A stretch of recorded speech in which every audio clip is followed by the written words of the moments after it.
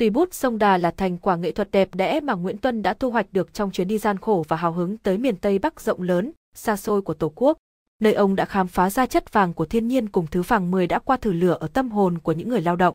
Anh, chị hãy làm rõ thứ vàng 10 đã qua thử lửa ở nhân vật người lái đò trong tùy bút người lái đò sông Đà của Nguyễn Tuân, hướng dẫn cách làm, có thể triển khai theo nhiều cách nhưng về cơ bản, bài viết cần được làm rõ những ý chính sau.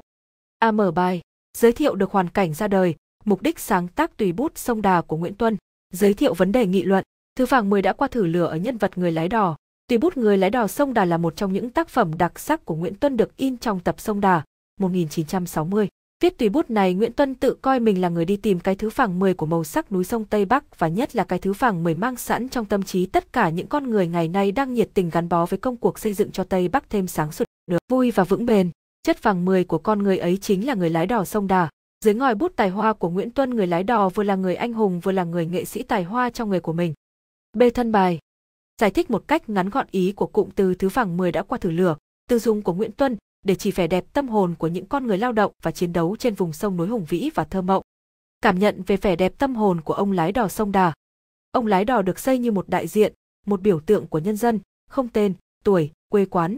Đó là một người lao động rất đỗi bình thường hoạt động trong một môi trường lao động khắc nghiệt, dữ dội. Ông am hiểu đối tượng mà mình đang chinh phục.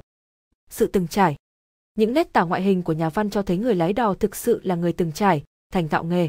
Chưa đủ, Nguyễn Tuân còn cho biết, người lái đò còn là một linh hồn muôn thuở của sông nước này. Ông làm nghề đò đã 10 năm liền. Trên sông Đà, ông xuôi, ông ngược hơn 100 lần rồi. Chính tay ông dự lái độ 60 lần. Sự từng trải của người lái đò còn thể hiện, dòng sông Đà với 73 con thác, nhưng ông đã lấy mắt mà nhớ tỉ mỉ như đóng đinh vào lòng tất cả những luồng nước của tất cả các con thác hiểm trở. Hơn thế nữa, sông Đà đối với ông lái đò ấy như một trường thiên anh hùng ca mà ông thuộc lòng đến cả những cái chấm than chấm câu và cả những đoạn xuống dòng. Không phải bỗng dưng mà nhà văn nổi tiếng tài tử lại đưa vào trang viết của mình tỉ mỉ các ngọn thác, thời gian ông lái đò làm nghề, phải chi ly, cụ thể như vậy mới thấy hết sự từng trải, gắn bó của với nghề đến độ kỳ lạ ở ông lão lái đò. Đấy cũng là cách nhà văn bày tỏ nỗi thán phục của chính mình về một con người như được sinh ra từ những con sóng, ngọn thác hung dữ ở sông Đà. Ông mưu trí và dũng cảm để vượt qua những thử thách khắc nghiệt trong cuộc sống lao động hàng ngày. Nguyễn Tuân đưa nhân vật của mình vào ngay hoàn cảnh khốc liệt mà ở đó, tất cả những phẩm chất ấy được bộc lộ, nếu không phải trả giá bằng chính mạng sống của mình. Nhà văn gọi đây là cuộc chiến đấu gian lao của người lái đò trên chiến trường sông Đà, trên một quãng thủy chiến ở mặt trận sông Đà. Đó chính là cuộc vự ớt thác đầy nguy hiểm chết người, diễn ra nhiều hồi, nhiều đợt như một trận đánh mà đối phương đã hiện ra diện mạo và tâm địa của kẻ thù số một. Ngoạt khúc sông lượn, thấy sóng bọt đã trắng xóa cả một chân trời. Đã ở đây ngàn năm vẫn mai phục hết trong dòng sông, hình như mỗi lần có chiếc thuyền nào xuất hiện ở quãng ngầm âm mà quạnh hiu này, mỗi lần có chiếc nào nhu vào đường ngoặt sông là một số hòn bèn nhổm cả dậy để vô lấy thuyền. Mặt họ tên nào trông cũng ngỗ ngược, hòn nào cũng nhăn nhúm méo mó hơn cả cái mặt nước chỗ này. Sông Đà đã giao việc cho mỗi hòn, mới thấy rằng đây là nó bảy thạch trận trên sông. Đám tảng hòn chia làm ba hàng chặn ngang trên sông đòi ăn chết cái thuyền, một cái thuyền đơn độc không còn biết lùi đi đâu để tránh một cuộc giáp lá cả có đá dàn trận địa sẵn. Trong thạch trận ấy, người lái đò hai tay giữ mái chèo khỏi bị hất lên khỏi sóng trận địa phóng thẳng vào mình. Khi sông đà tung ra miếng đòn hiểm độc nhất là nước bám lấy thuyền như đồ vật túm thắt lưng đặng lật ngửa mình ra giữa trận nước vang trời thanh lan não bạt, ông lão vẫn không hề nao núng, bình tĩnh, đầy mưu trí như một vị chỉ huy, lái con thuyền vượt qua khánh thác. Ngay cả khi bị thương, người lái đò vẫn cố nén vết thương, hai chân vẫn kẹp chặt lấy cuống lái, mặt méo bệch như cái luồng sóng đánh hồi lùng, đánh đòn tìa, đánh đòn âm vào chỗ hiểm. Phá xong cái trùng vi thạch trận thứ nhất, người lái đò phá luôn vòng vây thứ hai. Ông lái đò đã nắm chắc binh pháp của thần sông thần đá.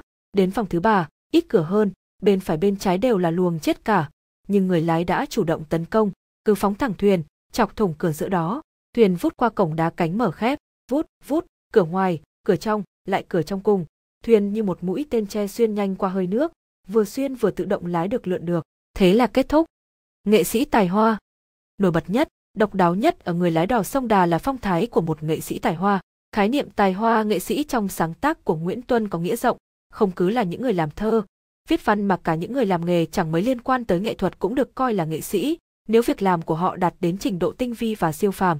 Trong người lái đò sông Đà, Nguyễn Tuân đã xây dựng một hình tượng người lái đò nghệ sĩ mà nhà văn trân trọng gọi là tay lái ra hoa.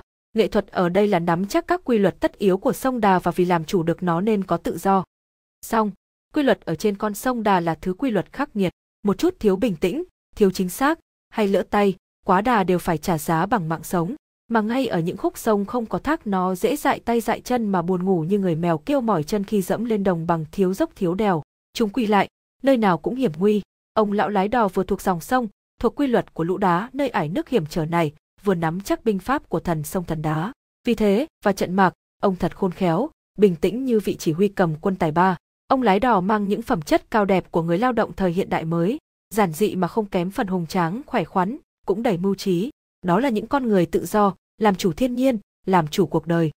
Xê kết bài Khái quát lại vấn đề, nhận xét chung về vẻ đẹp của ông lái đò, đánh giá nghệ thuật miêu tả của Nguyễn Tuân, đặt nhân vật vào tình huống đầy cam go, thử thách để nhân vật bộc lộ tính cách phẩm chất, phối hợp những thủ pháp tiêu biểu của các ngành nghệ thuật khác để miêu tả và kể chuyện. Rút ra bài học cho bản thân.